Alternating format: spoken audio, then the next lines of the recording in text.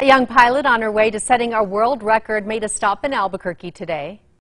I'm really hoping I can inspire people to go for it. You know, if, if you're, you get this opportunity that you only, that you're not sure about, that you're scared about, go for it and then see where it takes you. 19-year-old Zara Rutherford is working to become the youngest woman ever to fly solo around the world. The native of Belgium hopes her journey will especially inspire girls to get into aviation and STEM subjects. She says the experience is already making her bolder and more confident, and she encounters unexpected adventures along the way.